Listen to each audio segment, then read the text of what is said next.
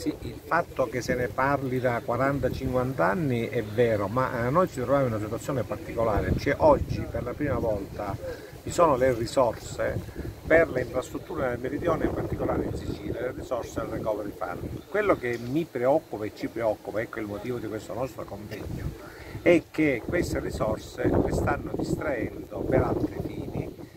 fini e non per, l'esigenza reale della Sicilia. Faccio un piccolo esempio che dimostra come anche in questa occasione le, le forze che in Italia, ma non le forze governative, le forze politiche, ma le forze quelle finanziarie che governano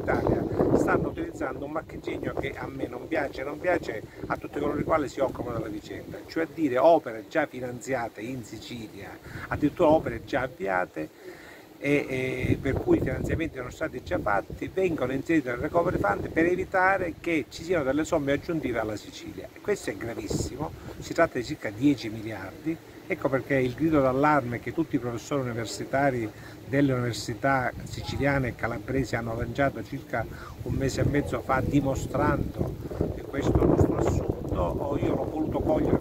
come parlamentare europeo ho organizzato questo incontro dove si parlano le forze politiche, le forze sociali, le forze imprenditoriali, le forze politiche al di là delle appartenenze perché ritengo che questa sia una battaglia per la Sicilia e per il Meridione che non deve avere una bandiera di partito ma deve avere una bandiera della politica sana.